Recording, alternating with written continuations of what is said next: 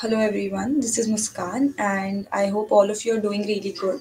So in this video, I will be discussing about the application procedure of GHC. Initially, I thought of doing a video like uh, one video in which I'll cover the application procedure, then essays and then my experience in GHC but I thought that it will be a really long video if I'll start doing it and it will just cross one hour. So instead, I'll what I'll do is I'll make it a series and I will just divide the video into parts. And uh, yeah, so this is the first part wherein I will be discussing about the application procedure. Next part, I'll be discussing about the essays and the resumes and how you can tailor it specific to GHC. And the third part would be my experience in GHC and how you can make the best out of it. Yeah. So the first part is the application procedure. I'll there, there's a sample form uh, uh, for GHC or the application form. I will just put the link of it in the comment section in the description box below so that you can you know just have a look of what the application uh, form looks like and right now what i am what i'm doing is i'm going through each and every step and i will brief you about what you have to fill it in okay so the first thing is the application inform uh, applicant information. So in that this is pretty basic. Actually the entire form is pretty basic only. It just asks you your uh, personal information and everything. So the first thing is it just asks you your first name middle name as you fill in each and every form. And then your address city. Okay so it is very uh, basic then the next thing that they ask then the next thing that they mentioned is the student eligibility. So in this anyone can apply. I think this is the best part about ghc that anyone can apply. Like it is not important that you should be in your like you should be a college student and then you can apply. I'm not really sure if uh, a non-college student can apply or not. But for college students if you're in first year or second year or third year you can apply and also another good thing about GHC is that you can apply multiple times and you you have like you have the same probability of getting the uh, scholarship. Like it is not like i've received it this year so next year i am less probable or i am less like my chances of getting the scholarship are less. It is not like that. Like people have received the scholarship like multiple times. So yeah that is another good thing. So then they have mentioned the eligibility. So they have mentioned that you must be a full-time student enrolled in an accredited degree program at a college or university. So i think uh, it is important for you to be a college student but i am not really sure if it is for btech or for other programs as well. So yeah. Apart from that they have not mentioned any uh, cgpa cutoff which i think is another very good thing. So yeah people in people with like any cgpa can apply. And they have also mentioned that they should demonstrate an, an interest in computer science. Of course ghc is the largest gathering of women in tech. So they expect that the people who are attending it or the people who are passionate for attending it should have interests in computer science because you know there will be women around the world like who have done wonders in the field of tech yeah so they will obviously want like-minded people and people who will be able to relate but they have not mentioned any uh, branch cutoff. So it is not important that you should be uh, from computer science branch or it branch or not, like any branch related to computer science you should just have that passion that interests in, in computer science. Yeah so there is no branch restriction as well apart from that they mentioned that you must be at least 18 years of age. So yeah. And apart from that you can just give it a read. I'll just put the uh, link to this form in the description box below. And then they've mentioned that what are they looking for in a student scholar which i think is very important. Most of us just miss it. But i think in the, like if you will because like before writing my essays i just read it. And i just like tried to like whatever i'm writing i just try to focus that whatever i'm writing their needs are fulfilled. What they are trying to look in a scholar if your essays contain all of it so obviously your the chances of you getting selected will increase. So i think this is very important and because it is such a long application form so most of us tend to miss it but okay. So what they mentioned is that student scholars are active in their community including being involved with campus computing, STEM clubs, and working. So, here, as I told you, that they are not just looking for people who are very good in DSA or who have done a lot of projects, but they're looking for leaders or and they're looking for people who are passionate about tech or they have done something to uplift people around them, not just themselves, but what have you done to help other women, help the women around you that are there so you have to mention that. And it is not important that it should be a really great thing. Even a small thing maybe uh, for example if you have mentioned that uh, maybe you have helped some girls in your college to understand a problem. Or maybe if suppose i know web development so maybe i can teach web development to the other girls or anything. You can just mention it okay? It is not important that it should be a very big uh, thing. So yeah then the next is an understanding of how attending GHC will have an impact on the scholar and any messages or key learnings that they take back to share at their school. This is very important. Basically, these are the two essays that are there. So they want to know that when you get the scholarship or if they give it, how are you going to use it? Because it is not a monetary amount, right? Like they are going to fund your registration or they are they are going to give like uh, you ha- you don't have to pay anything for attending GHC. I think there is some particular amount. I'm not really sure about that, but you have to buy tickets and and the tickets are sold out in minutes. So like they are, it is not a monetary amount. They are providing you an opportunity to attend that particular event. So they want to know like how will you make use of it? And once you are done like once that uh, that event is over after attending that what impact are you going to put on the people around you?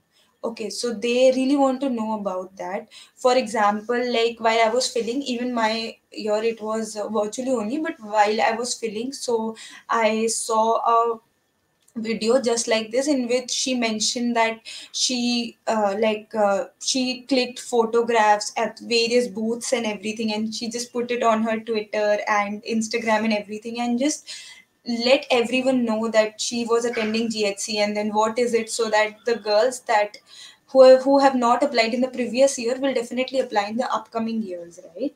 So yeah that is really important. So they want to know that and make sure that you mentioned some very good points in that. And obviously these are the two essays that are there. Basically the essay topics. I am going to cover it in most probably part 2 of this uh, GHC series. Okay? So now the next thing is that please note okay so those are some of the common conditions. Then they have asked you your age and gender. Then they have asked you okay. Then they have asked some personal information about you. That is okay. And then they have also asked about the education and career information. So here in the education and career information they have mentioned uh, uh, like graduate phd and masters also. So i think master students like students who are pursuing their masters are also eligible for this particular program. Okay and also they have mentioned graduate. So i'm not really sure what is this but they mentioned if you're a graduate. So that you guys what you can do is like they have mentioned an email and they're really quick in responding. So apart from that if you have any uh, doubts you should definitely mail them before you know just don't assume anything. Just mail them or maybe just contact few people on linkedin or just directly mail them and they will definitely respond to you. Because you know you get i think around a month's time to fill it or even more. So you have a good amount of time to fill the application thoroughly yeah so yeah then they have asked you about the graduation program and everything and another okay and now the next thing that they have asked is your GPA, but they have not mentioned anything that they are going to give an edge to the people with higher GPAs. But what I have observed is it is totally my observation. I'm not really sure about it. That if you have a good GPA, then it gives an edge to you. Because obviously they want people who are able to manage. Suppose you're attending an event or anything and your academics is suffering and you're not able to manage it. So that is also not a good point. So they want uh, girls that are able to manage and also they are academically good but that is not like it will obviously give you an edge but that is not the like the end case suppose if you are not with good gpa so it's not like your chances are really low or anything but that is just a plus point. So just try to keep your gpa or cgpa as good as possible. Okay. So the next thing that they've asked is that have you previously attended ghc or not? I'm not really sure like like if this will make an impact on the selection procedure but they have just asked it and the years when you have attended. And then the next question then the next part of the application procedure and the most important one are your essays. And like they have written a lot like how you should write your essays and most of the students just do not read it. But i think it is very important to read it. And in that they have mentioned like the first essay topic is that tell us why you want to attend GHC and what type of impact will being at a conference focused on women in computing will have on you and you have to um, like write the entire thing in 200 words as i told you so yeah we will be covering how to write the essays and everything in the next video now, the second part is how will you share your experience at GHC with others? What type of impact will your experience at GHC have on others? So, yeah, this actually these are the two topics that are like the very common ones. Like, word to word, the topics are not similar, obviously, but like most of the applications, for example, Generation Google Scholarship is there, then WIT is there. So, most of them the main focus is this only. So if you are someone who are you know preparing for the essays then you're not just preparing for the essays that you have to submit in GHC you are preparing for the other essays as well. For example i remember i wrote my essays for generation google scholarship. That was before uh, the when i filled the applications for GHC and the efforts reduced to a lot. Like for example i, I whatever uh, things i learned while i was filling the generation google scholarship essays. Like i applied so many of them in this particular scholarship as well. So yeah the essays are really important because it will help you in other scholarships as well. So yeah the, uh, then essay is there then resume is there. This is another important thing. Yeah.